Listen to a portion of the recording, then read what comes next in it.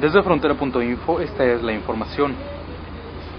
En el interior de un vehículo que fue abandonado desde la mañana del martes en la calle 15 y Juan García de la colonia Libertad se encontró el cadáver de un hombre. Según la Procuraduría General de Justicia del Estado, al abrir las puertas del carro se ubicó el cuerpo.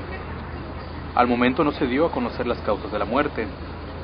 Cuando personal de la unidad de periciales comenzaron a sacar lo que había dentro del carro, se encontraron una cartulina a color blanco donde se amenazaba la Policía Federal y se denunciaba al difunto como dedo. Con información de Luis Gerardo Andrade e imágenes de Sergio Ortiz para frontera.info.